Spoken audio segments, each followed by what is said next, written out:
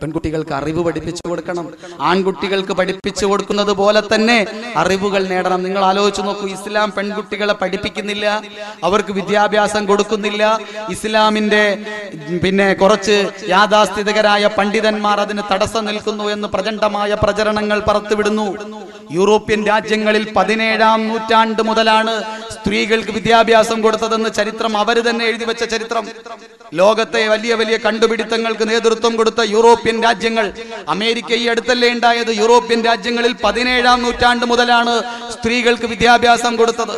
നമ്മുടെ ഈ നാട്ടിൽ കേരളീയ സാഹചര്യത്തിൽ ബ്രിട്ടീഷുകാരൻ എന്ന വൃത്തികെട്ട ലോകത്തെ ഏറ്റവും വലിയ ഭീകരന്റെ ക്രൂരമായ ഭാഷ നിങ്ങൾ പഠിക്കരുതേ എന്ന് ഉലമാക്കൾ ആഹ്വാനം ചെയ്യുകയും ആ ഭാഷയെ നമ്മൾ വെറുക്കണമെന്ന് ആഹ്വാനം ചെയ്യുകയും ചെയ്യുന്ന സാന്ദർഭികമായ സാഹചര്യം ഉണ്ടായപ്പോ ഒരു കാലത്ത് മലബാറിന്റെ ഉലമാക്കൾ സമസ്തയുടെ ഉലമാക്കൾ മുൻഗാമികളായ പണ്ഡിതന്മാർ സ്ത്രീകളോടെന്നല്ല പുരുഷന്മാരോടുകൂടും ഇംഗ്ലീഷ് ഭാഷ ഒഴിവാക്കണമെന്ന് ആ കാലഘട്ടത്തിന്റെ ആവശ്യം മനസ്സിലാക്കിക്കൊണ്ട് കൽപ്പിച്ചതാണ്. അല്ലാതെ സ്ത്രീകൾക്ക് വിദ്യാഭ്യാസം കൊടുക്കണ്ട എന്നല്ല. എന്തിനേറെ എന്റെ പ്രിയപ്പെട്ടവരെ മലബാറിന്റെ നമ്മൾ ചരിത്രം പരിശോധിച്ചു നോക്കിയാൽ ഈ കണിയാപുരത്ത് പരിശോധിച്ചു നോക്കിയാൽ നമ്മുടെ വീടുകളിൽ നമ്മുടെ സഹോദരങ്ങളെ പരിശോധിച്ചു നോക്കിയാൽ വിജ്ഞാനം നേടുന്ന എത്ര എത്രയോ സഹോദരിമാരെ നമുക്ക് കാണാൻ കഴിയും.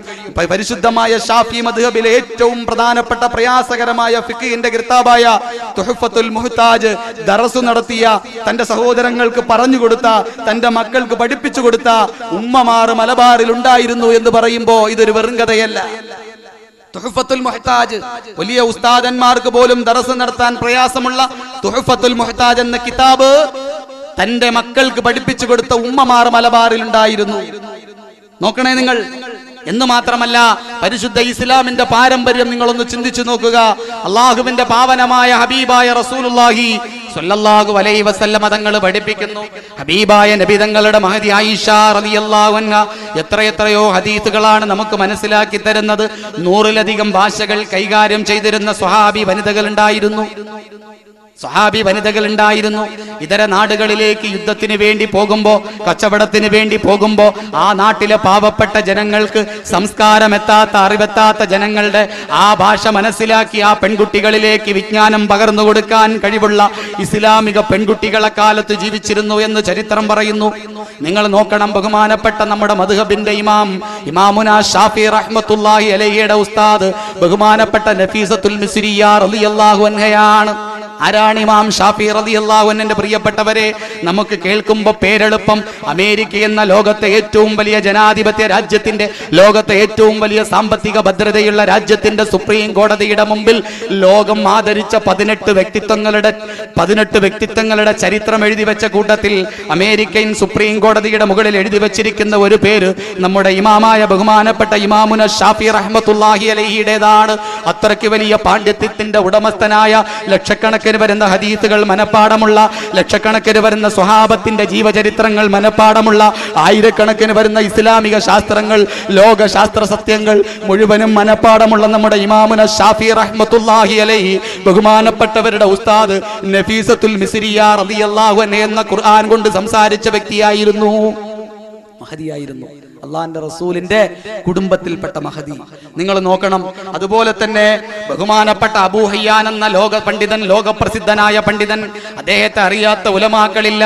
അബൂഹയ്യാൻ റഹ്മത്തുല്ലാഹി അലൈ എന്ന് പറയുന്ന വലിയ പണ്ഡിതന്റെ ഉസ്താദന്മാർ മൂന്ന് സഹോദരിമാരായിരുന്നു. മൂന്ന് സ്ത്രീകളായിരുന്നതിൽ ഒന്നാമത്തവർ സുൽത്താൻ സലാഹുദ്ദീൻ അയ്യൂബി എന്ന കുതുസിന്റെ മോചനത്തിലൂടെ മുസ്ലിങ്ങളുടെ ഹൃദയാന്തരങ്ങളിലേക്ക് കയറിക്കൂടിയ ലോകത്തിന്റെ വിപ്ലവനായകൻ ബഹുമാനപ്പെട്ട സുൽത്താൻ സലാഹുദ്ദീൻ അയ്യൂബിയുടെ സഹോദരി ബഹുമാനപ്പെട്ട മോനിസ റഹ്മത്തുല്ലാഹി അലൈ മറ്റൊന്ന് ബഹുമാനപ്പെട്ട ഷാഫിയ റഹ്മത്തുല്ലാഹി അലൈ മറ്റൊന്ന് ഡോക്ടർ അബ്ദുൽ ലത്തീഫ് എന്നവരുടെ പുത്രി സൈനബ എന്നവർ ഈ മൂന്നുപേരായിരുന്നു ബഹുമാനപ്പെട്ട അബൂഹയ്യാൻ എന്ന വലിയ പണ്ഡിതന്റെ ഒരുപാട് അത്ഭുതങ്ങൾ ലോകത്ത് എഴുതി വെച്ച ഒരുപാട് ജീവചരിത്രങ്ങൾ എഴുതി വെച്ച ഒരുപാട് ശാസ്ത്ര സത്യങ്ങൾ ലോകത്തിന്റെ മുമ്പിൽ കാണിച്ച ബഹുമാനപ്പെട്ട ആ വലിയ പണ്ഡിതന്റെ ഉസ്താദുമാർ അപ്പോഴൊന്ന് ചിന്തിച്ചു നോക്കി.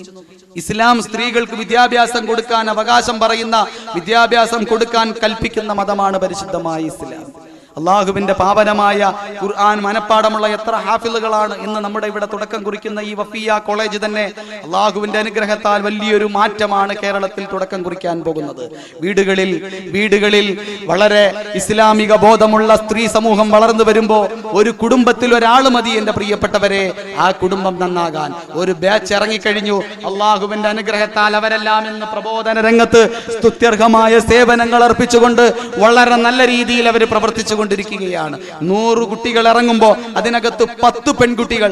അള്ളാഹുവിനെ ഭയന്നുകൊണ്ട് അള്ളാഹുവിനെ പേടിച്ചുകൊണ്ട് സൂക്ഷ്മമായി അവർ പഠിച്ച അവർ പകർന്നു കിട്ടിയ അറിവിനെ അനുസരിച്ചുകൊണ്ട് ജീവിക്കുന്നവരാകുമ്പോൾ അവർ ജീവിക്കുന്ന സമൂഹം എത്ര ഉഷാറാകും എത്ര നന്നാകും എന്റെ പ്രിയപ്പെട്ടവരെ.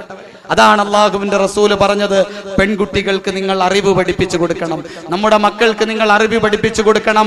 ആ അറിവ് പഠിപ്പിച്ചു കൊടുത്തുകൊണ്ട് ആ കുഞ്ഞുങ്ങൾക്ക് തവക്കുൽ പഠിപ്പിച്ചു കൊടുത്തുകൊണ്ട് ആ കുഞ്ഞുങ്ങൾക്ക് അള്ളാഹുവിനോടും അവന്റെ ഹബീബായ നബിതങ്ങളോടും നബിതങ്ങളുടെ സ്വഭാവത്തിനെ കുറിച്ചുള്ള ചരിത്രവും നിങ്ങൾ പഠിപ്പിച്ചു കൊടുക്കണമെന്ന് ഹബീബുനാ റസൂലുല്ലാഹി എന്തുകൊണ്ട്? അള്ളാന്റെ റസൂൽ തന്നെ അതിന് കാരണം പറയുന്നു പുരുഷന്റെ പാതിയാണ് പുരുഷന്റെ പകുതിയാണ് സ്ത്രീ. പുരുഷൻ ഇവിടെ നിലനിൽക്കണമെങ്കിൽ സ്ത്രീ നിലനിന്നേ പറ്റുള്ളൂ. അതാണ് റസൂള്ള പറയുന്നത്.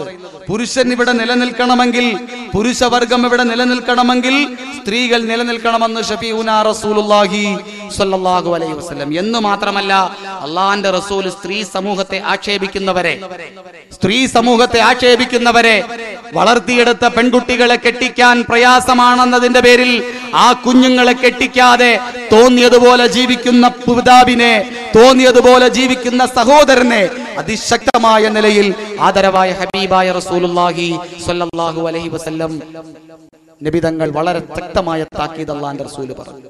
നബിതങ്ങൾ പറയുകയാണ് നീചനാണ് നികൃഷ്ടനാണ് പെൺകുട്ടികളെ ഒഴിവാക്കുന്നവൾ.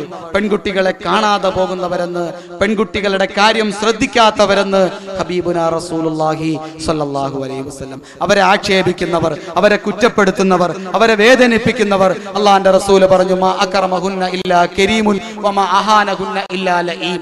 നീചനാണ് നീചനും അതുപോലെ തന്നെ മാന്യനല്ലാതെ മാന്യന്മാർ മാത്രമേ അവരെ ആദരിക്കുകയുള്ളൂ റസൂലുള്ള പറയുക സ്ത്രീകളെ ആദരിക്കണമെന്നും സംരക്ഷിക്കണമെന്നും ഒരാളുടെ ഹൃദയത്തിൽ തോന്നിയാൽ അവനാണ് മാന്യൻ. ആരാണ് മാന്യൻ എന്ന് സ്വഹാബത്തിന് നബിതങ്ങളോട് ചോദിച്ചപ്പോ റസൂലുള്ള പറഞ്ഞത് മാന്യൻ ആരെന്നറിയുമോ? ആരാണ് സ്ത്രീകളെ ബഹുമാനിക്കാൻ മനസ്സ് തോന്നുന്നത്? ആരാണ് സ്ത്രീകളെ സംരക്ഷിക്കാനുള്ള ചുമതല ഏറ്റെടുക്കുന്നത്? അവനാണ് മാന്യൻ എന്ന് ഷഫീഖുനാ റസൂലുള്ളാഹി. ആരാണ് നിന്ദ്യൻ? ആരാണ് മോശപ്പെട്ടവൻ? നബിതങ്ങൾ പറഞ്ഞു സ്ത്രീകളെ കുറ്റം പറയുന്നു. പെണ്ണുങ്ങളെ അകാരണമായി റീബത്ത് പറയുന്നവർ പെൺമക്കളെ കുറ്റം പറയുന്നവർ സഹോദരിമാരെ റീബത്ത് പറയുന്നവർ അവരാണ് നിന്നിരെന്ന് ഹബീബുനാ റസൂലുള്ളാഹി സല്ലല്ലാഹു അലൈഹി വസല്ലം ഹബീബായ നബി സല്ലല്ലാഹു അലൈഹി വസല്ലം തങ്ങൾ പറയുന്നെന്ന് മാത്രമല്ല അള്ളാന്റെ റസൂൽ പറയുന്നു ഹബീബായ നബി തങ്ങൾ പറയുകയാണ് ആദരവായ റസൂലുള്ളാഹി സല്ലല്ലാഹു അലൈഹി വസല്ലം ആമിറുൻ നിസാ ഫീ ബനാതിഹിന്ന പെൺകുട്ടികളുടെ കാര്യത്തിൽ ഉമ്മമാരെ നിങ്ങൾ ശ്രദ്ധിക്കണേ എന്ന് അള്ളാഹുവിന്റെ ഹബീബായ നബി ശക്തമായ താക്കീത് പുരുഷന്മാരെക്കാൾ കൂടുതൽ ആ ഉമ്മമാരോട് അള്ളാന്റെ റസൂൽ പറയുകയാണ്. ഉമ്മമാര്. ഉമ്മമാരാണ് ശ്രദ്ധിക്കേണ്ടത്. ആ ഉമ്മയിൽ ഒരു മാതൃക ആ പെൺകുട്ടിക്ക് വേണം. ഉമ്മ ദുവാ ചെയ്ത് ആ ഉമ്മ നിസ്കരിച്ച് ആ റബ്ബിനോട് കരയുന്നത് ആ പെൺകുട്ടിയുടെ മാനസാന്തരങ്ങളിൽ മാറ്റമുണ്ടാക്കണം. ഉമ്മ ഇരുന്ന് ടി വി കാണും. ഉമ്മ ഒരു സീരിയലും വിടൂല. പിന്നെ എങ്ങനെ മകൾ കാണാതിരിക്കും എന്റെ പ്രിയപ്പെട്ടവരെ? നിങ്ങൾ നോക്കൂ. എന്താണ് സീരിയലിന്റെ ഒരു രൂപം? ഞാൻ കുറ്റപ്പെടുത്തുകയല്ല നിങ്ങൾ ചിന്തിക്കാൻ വേണ്ടി പറയുകയാണ്. സീരിയൽ എന്താണ് സീരിയൽ? അത് തയ്യാറാക്കുന്നത് ആരാണ്? ആ സ്ക്രിപ്റ്റ് തയ്യാറാക്കുന്നത് ആരാണ്? സാങ്കല്പികമായ കഥകൾ. ലോകത്ത് ഇതര സമുദായങ്ങൾക്കിടയിൽ അക്രമികൾക്കിടയിൽ നടക്കുന്ന ആ അക്രമങ്ങളെയും ബന്ധങ്ങളെയും കൊലപാതകങ്ങളെയും പൊടിപ്പും തങ്ങലും വെച്ച് ചിത്രീകരിച്ചുകൊണ്ട് നമ്മുടെ പെൺകുട്ടികളെ വഴിതെറ്റിക്കുന്നതിന് വേണ്ടി ആസൂത്രിതമായി സ്ക്രിപ്റ്റ് തയ്യാറാക്കുന്നവരാണ് അതിന്റെ തിരക്കഥ എഴുതുന്നവർ. അഞ്ചു നേരം നിസ്കാരമുള്ള ഒരാളെ നമുക്ക് കാണിച്ചു തരാൻ പറ്റോ അള്ളാഹുവിന് ഭയമുള്ള ആഹ്റത്തിൽ വിശ്വാസമുള്ള ഒരാളെ സീരിയലിന്റെ തിരക്കഥ എഴുതുന്നതായി നിങ്ങൾക്ക് കാണാൻ പറ്റോ? ഇല്ല. എന്തുകൊണ്ട്? അവരുടെയൊക്കെ ലക്ഷ്യം അത് തന്നെയാണ്. ഞാൻ ഇന്നലെ സൂചിപ്പിച്ചതുപോലെ ലോകത്ത് അനാശ്വാസ പ്രവണതകൾ വ്യാപിക്കണമെന്ന് ആഗ്രഹിക്കുന്ന ജൂത ലോബികളുടെ കുതന്ത്രങ്ങളിൽ അവരുടെ പൈസ വാങ്ങിക്കൊണ്ടാണ് ഇത്തരം സ്ക്രിപ്റ്റുകൾ തയ്യാറാക്കുന്നത്. അത് കണ്ടിട്ടാണ് നമ്മുടെ ഉമ്മമാർ കരയുന്നത്. ആഹിറത്തിനെ കുറിച്ച് ഓർത്ത് കരയേണ്ട കണ്ണുകൊണ്ട് അള്ളാഹുവിനെ കുറിച്ച് ഓർത്തുകൊണ്ട് കരയേണ്ട കണ്ണുകൊണ്ട് സീരിയലിൽ അഭിനയിക്കുന്ന നടിമാരുടെ കരച്ചിൽ കണ്ട് കരഞ്ഞു പോവുകയാണ് നമ്മുടെ ഉമ്മമാരും പെങ്ങന്മാരും. അള്ളാഹു കാത്തുരക്ഷിക്കുമാറാകട്ടെ നമ്മുടെ ചെറുപ്പക്കാരന്റെ പ്രിയപ്പെട്ട സഹോദരങ്ങളെ പറയാതിരിക്കാൻ നിവൃത്തിയില്ല.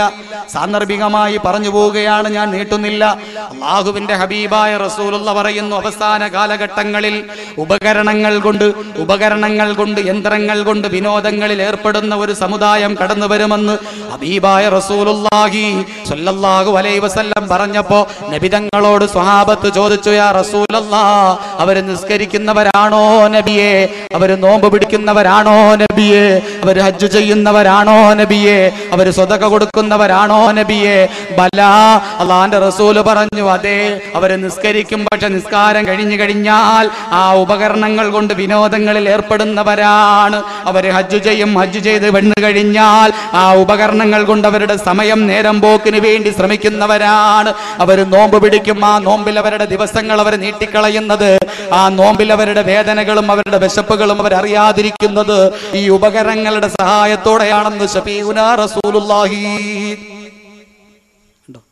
മൊബൈലിനെ കുറിച്ചല്ലേ അള്ളാന്റെ റസൂൽ പറഞ്ഞത്? മൊബൈൽ വേണ്ടെന്നല്ല പറയുന്നത്.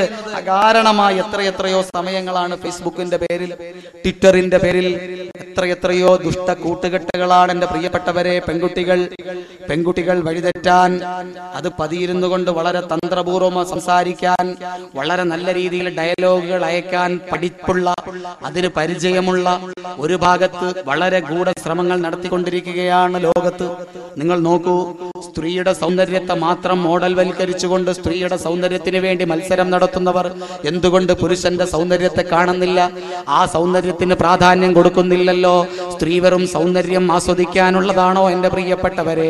യൂറോപ്യൻ നാടുകളിൽ സംഭവിച്ചുപോയ തകരാറ് തല്ലേ അവരുടെ സൗന്ദര്യത്തിന്റെ പ്രായത്തിൽ മാത്രം സ്ത്രീകൾക്ക് ആദരവ് കൊടുക്കുന്ന ആ സൗന്ദര്യത്തിന്റെ ശരീരം ആ ശരീരത്തിൽ നിന്ന് സൗന്ദര്യം നഷ്ടപ്പെട്ടു കഴിയുമ്പോൾ ആ ഉമ്മമാരെ വൃദ്ധസദനങ്ങളിൽ കൊണ്ടാക്കി അവരുടെ ചർച്ചകൾ ആരും തിരിഞ്ഞു നോക്കുന്നില്ല. ആ ഉമ്മയെ പരിചരിക്കാൻ നേഴ്സിനെ ഏർപ്പെടുത്തിക്കൊണ്ട് ആ ഉമ്മയെ പരിചരിത്താൻ വേറൊരു സഹോദരങ്ങളെ ഏർപ്പെടുത്തിക്കൊണ്ട് യൂറോപ്യൻ രാജ്യങ്ങളിൽ ആ സംസ്കാരം എന്ന് വ്യാപിക്കുകയാണ്.